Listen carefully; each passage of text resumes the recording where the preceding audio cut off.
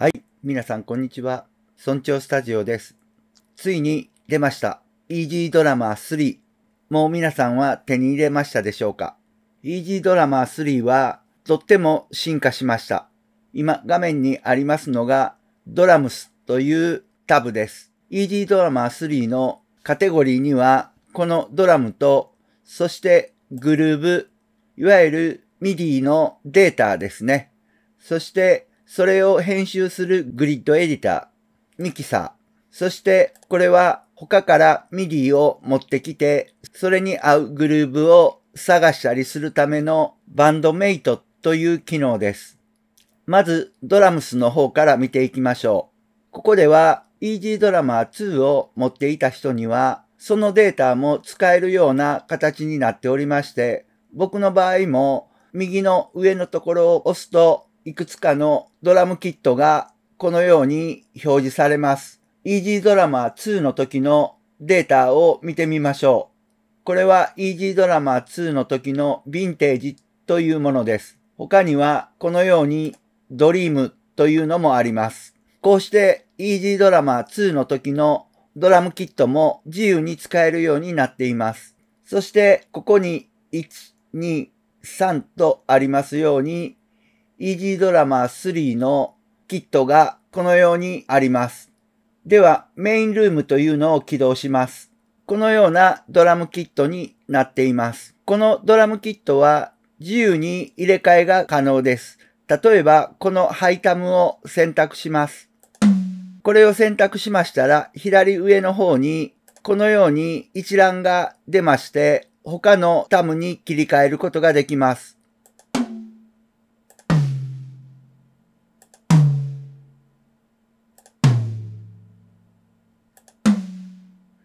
こういう風にしてドラムのキットを切り替えていくことができます。そしてここでボリューム、そしてチューニングですね。高さもこの辺で変更することができるようになっています。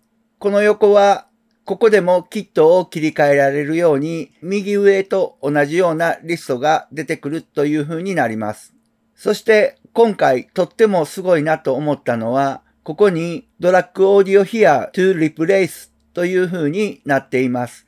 これは何かと言いましたらここに音ネタのワンショットを入れれるということです。例えば最近発売になりました Waves のコスモスというのがこのようにあります。ここでドラムのワンショットというのを選択しておいて、そしてここにタムという風に検索しています。ですから、ここに今出ているのはタムばかりです。ここで音を再生してみましょう。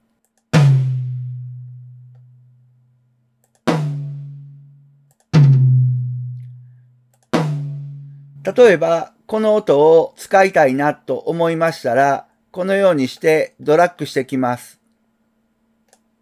こうすると、このタムが今の音に切り替わりました。ちょっと鳴らしてみましょう。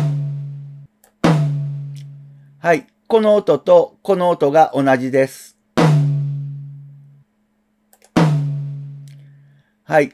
このようにサンプリングしたデータでドラムキットが自由に作れるということになります。そして画面の上の方が User Audio File という風になっています。もう一度キットを切り替えます。元に戻すときは先ほどと同じデータをこのようにするとまた置き換わるということになります。とっても便利ですね。自由にこのような音ネタをドラムに割り付けれるということになります。ちょっとキックを聞いてみましょう。では、ここでキックを選択します。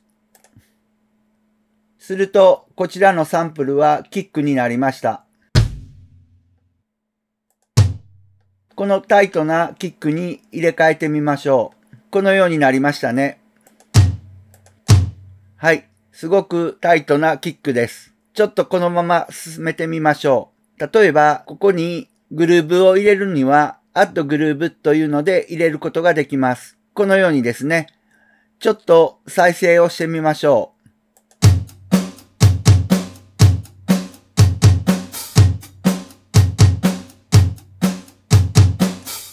のように今入れたキックで音が鳴りました。もう一度キックを切り替えてみましょう。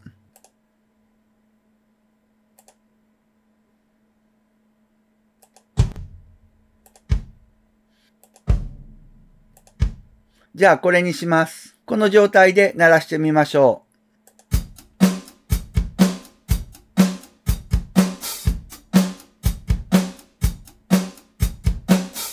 こちらの方がスッキリしますね。でもこのようにして自分の持っている音ネタをドラムに割り付けれるということになります。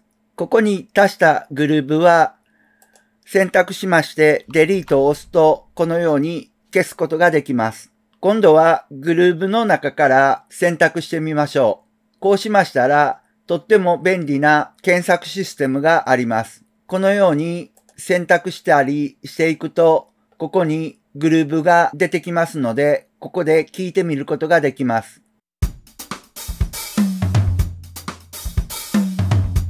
今はフィルのパターンが出ています。これ一度オールクリアします。このオレンジのボタンを押すとオールクリアが可能です。じゃあ聞いてみます。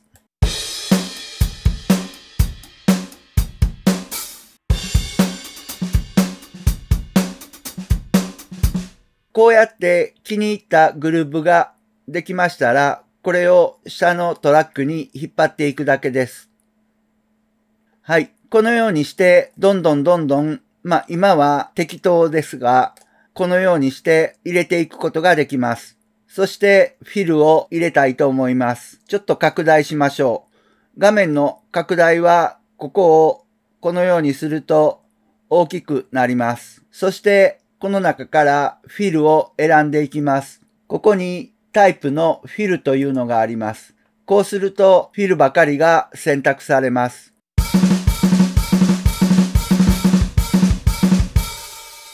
はい。気に入ったフィルがありましたら、ここにドラッグします。このようにフィルを入れれるわけです。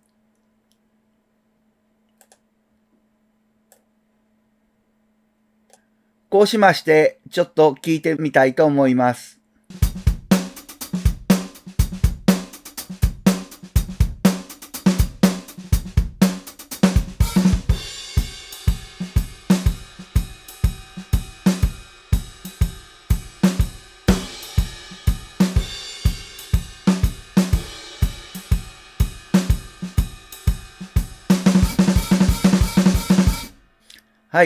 今全く合いませんでしたが、このようにして選択ができるということです。そして Tap to Find というトゥーントラック社の真骨頂とでも言いましょうか。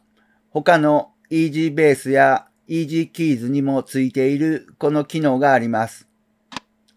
はい。このようになりますので、ここでどんなグルーブを叩きたいかということをクリックすればいいようになっています。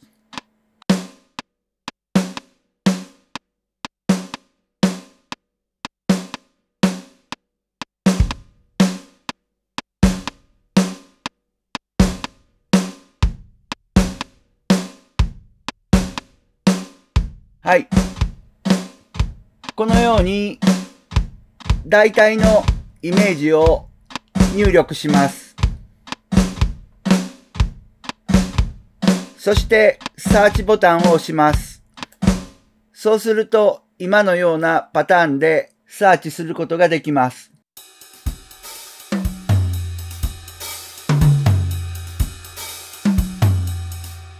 はい。ちょうどいいのかどうかがよくわかりませんが、まあ、このようにしてサーチすることもできるということです。じゃあ、この下のグルーブを一旦消します。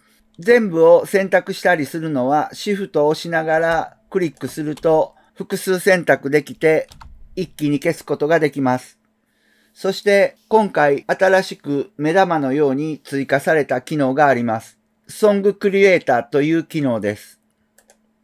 ここでイントロやバースという風にもう曲の構成ができています。それをここで選択することができます。そしてこのグルーブがありますよね。これをこのようにドラッグしてきます。そうすると、ちょうどいいような曲の構成までもが全部出来上がるということです。ここがソングパートという風になっていますが、それぞれに選択すると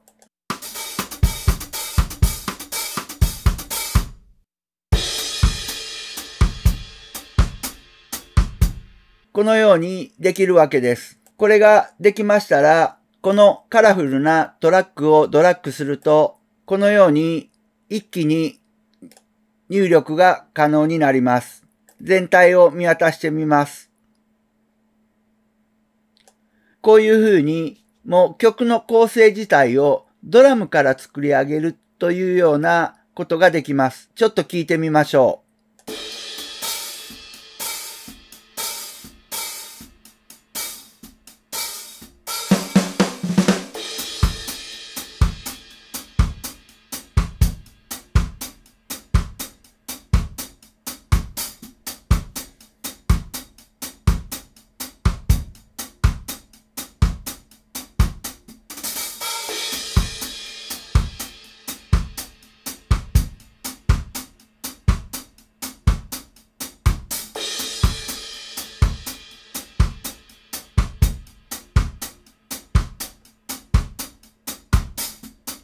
ちょっと飛ばします。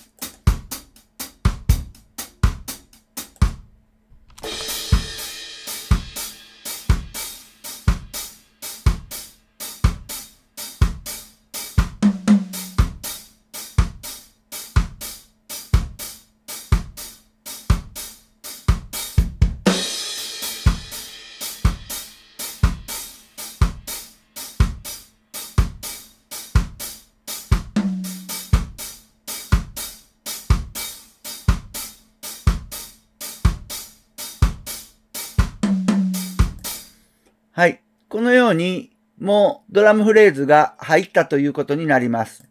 これらはこのように編集することもできます。また一度クリアします。今度はバンドメイト。ここで他の EG シリーズと連携したいと思います。それにはこのように EG キーをインサートします。そしてここに EG キーのグルーブがあります。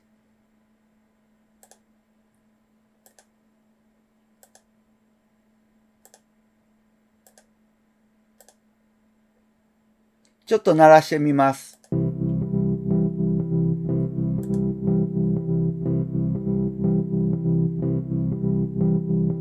ちょっとピアノの音を生ピアノの音に変えてみます。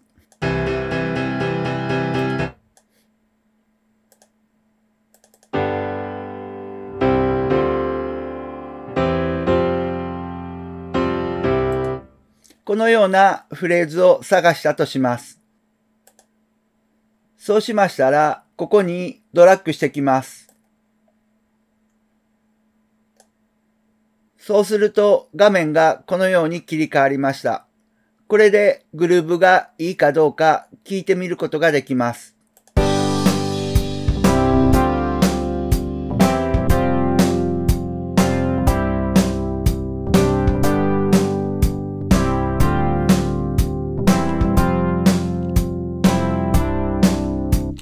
とってもいいですね。もう一度やってみましょう。もう一度やり直すときは、ここで New を押します。全く違うようなグルーブを見てみましょう。はい。じゃあ、この音を入れてみます。そして再生をします。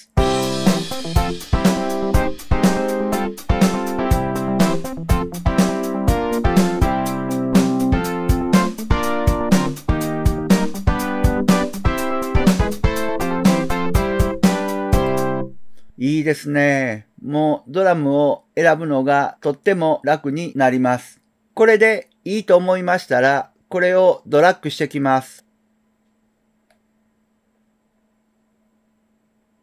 こんな感じですね。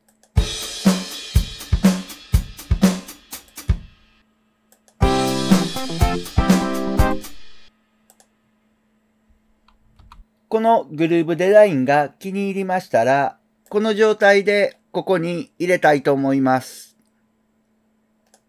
すると、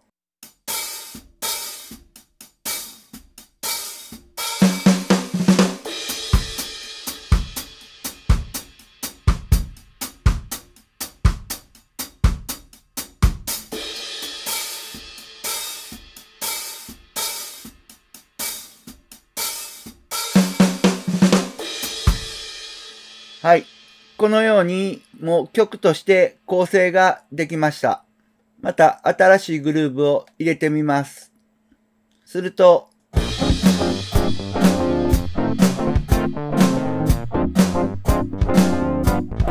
良さげなドラムが割り付きます。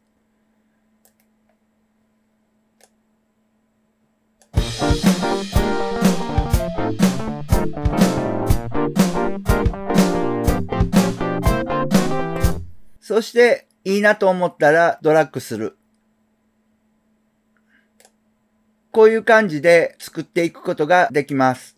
ミキサーのところなどは、細かいところはまた次の機会に第2弾としてやることにします。ミキサーとグリッドエディターです。グリッドエディターもとってもわかりやすくて入力がしやすいのはもう実験済みです。ヒューマナイズドというのもありまして、このオレンジ色のドラマーになったら、ヒューマナイズドして叩いてくれたり、その辺のところも便利にできています。画面の下のベロシティを見てください。